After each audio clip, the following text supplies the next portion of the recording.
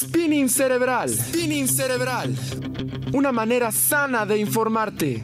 Spinning cerebral. Acelera tu mente y llénate de energía. Iniciamos.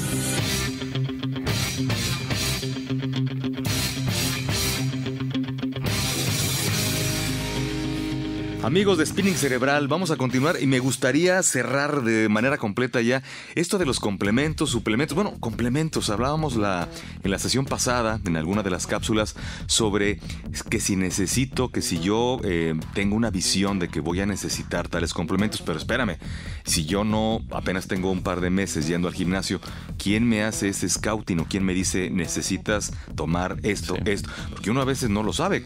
Si somos principiantes, normalmente no lo sabemos. Hay personas que se dedican, un instructor, una persona que te cheque metabolismo, ¿te puede dar alguna orientación? Sí, yo lo que creo que debería como haber unas reglas de oro que no podemos romper. La primera, no dejar que me sugiera el complemento a alguien que no conozca el que vende, no sé, por poner un ejemplo. Por ejemplo. Eh, la chica que nos va a vender, ella más bien le dan comisión por vender, entonces no vamos a hacerle caso a ella. ¿Verdad? Para empezar. Qué feo, pero sí. Sí, es cierto. Yo le veo todos los días. La otra es organizarme como lo platicamos la vez pasada, o sea, organizarme, voy a poder ya con el complemento yo en mi casa, voy a poder agarrar mi, voy a poder seguir esa racha de entrenamiento para poderlo aprovechar, eso sería otra regla.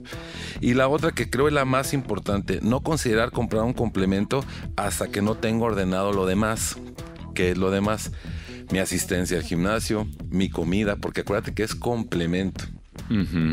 Tengo mi complemento, me costó cierta cantidad de, de, dinero, pero no tengo nada en la despensa. ¿Qué voy a comer en la tarde? No sé, pero el complemento se ve bien bonito en la ah, No, tengo que, primero, antes que otra cosa, es ordenar mis, mi, tener mi rutina bien, bien definida de lo que estoy comiendo. Eso sería lo más importante. Antes de que me pase por la cabeza a lo mejor comprarme alguna cosa, primero tengo que hacerme el hábito de empezar a desayunar, comer y cenar lo mejor que se pueda. Ok. Y bueno, ahorita que estamos hablando ya sobre la alimentación, antes de cualquier complemento alimenticio es tener una despensa no surtida de todo, porque a veces también tenemos la cultura de comer harinas. La palabra sería la, la despensa adecuada. La despensa adecuada. Para una persona, si se considera deportista, pues debe de ser adecuada para un deportista, como el ejemplo que te ponía. Una persona que no hace tanta actividad física, pues requiere menos, ¿no? A lo mejor pues un poquito de algo, un poquito de eso, pero una persona deportivamente hablando, olvidándonos del nivel como te decías, pero que tiene constancia, podríamos decir que es una persona que sí debe de olvidarse de la sopita de fideo tantito, que debe de olvidarse de papas, tiene que olvidarse de refrescos, de todo eso, tiene que empezar a hacerse el hábito de empezar a involucrarse en lo que está comiendo. Claro. Si no, entonces no se nota. Si no, esa palabra es muy, muy, muy padre que somos lo que comemos. O sea, si no comes bien, no se te va a notar. Aunque dicen que el 80% de los resultados en el gimnasio no se ven dentro del gimnasio, sino en la cocina. Exacto.